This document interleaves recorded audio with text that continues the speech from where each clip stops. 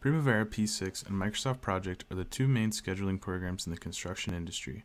Although both of these programs aim for the same goal, they are unique in their own way in how they go about achieving this goal of providing an effective project management software where somebody can go in and plan, track, and report on a project. Microsoft Project tends to be a more user-friendly program that is extremely simple to use and works great on small projects, whereas Primavera P6 is more complex, but once learned can be an extremely powerful tool that has added features and can be used on bigger and more complex projects and programs. Depending on your project's needs, you may have to convert a Microsoft Project file over to a P6 file or a P6 file over to a Microsoft Project file. In this video, I'm going to discuss how you can go about accomplishing this. We'll first discuss how you go about exporting a P6 file to a Microsoft Project file. The first step to export a P6 file is to go up to File and click Export. This will bring up a dialog box where you can choose what file type you want to save your project as. Since we are planning to import this schedule into Microsoft Project, we will click the Microsoft Project option. In this case, I'm using Microsoft Project 2016, so I'll change the XML 2002 and 2003 option to XML 2016. Once you have selected this, click Next.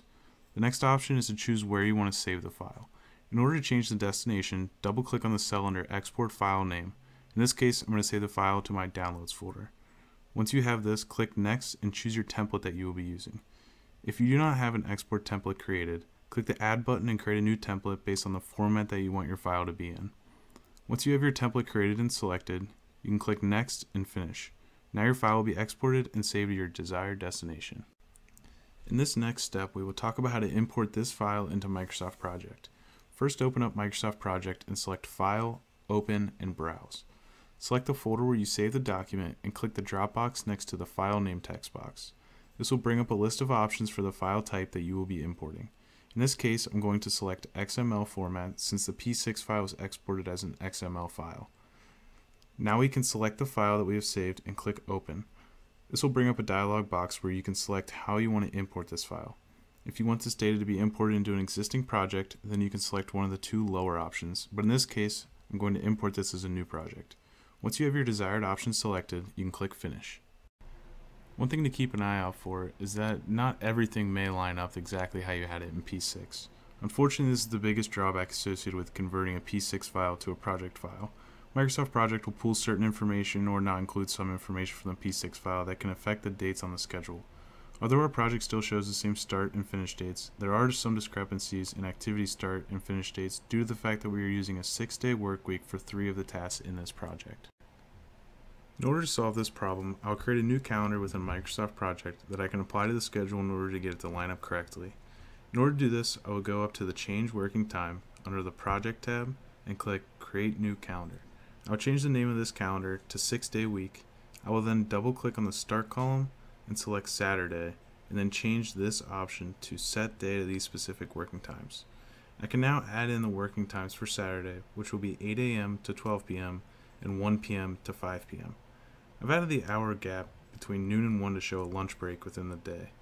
Now that I have this filled in, I'll click OK and then click OK again. And I'm going to add in a new column for this updated calendar and I will choose Task Calendar. As you can see, the activities that had the 6-day work week in P6 are now blank. I can go in and change these to the 6-day work week so that the dates will line up correctly.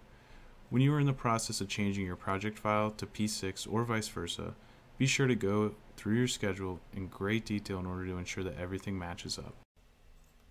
Now that we have the schedule showing the correct dates in Microsoft Project, I'll show you how you can export this file into P6.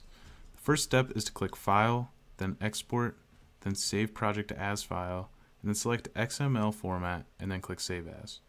This will bring up the dialog box where you can select where to save the file, so I'll save it in the Downloads folder again, but this time I'll change the file name to distinguish it from the schedule we exported from P6.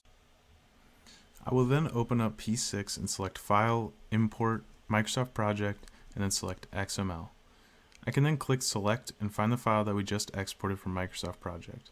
I'll use the same template that I exported with so then I can click Next and then Finish. Now you have the schedule imported back into P6 from Microsoft Project. As was the case with the file imported into Microsoft Project, I highly recommend you and your team go through the schedule and ensure that there aren't any undesirable changes that have taken place during the export and import process. I hope that you found this video useful, and if you have any questions, feel free to leave them in the comments section below and we'll try our best to get the question answered for you. Thank you, and have a wonderful day.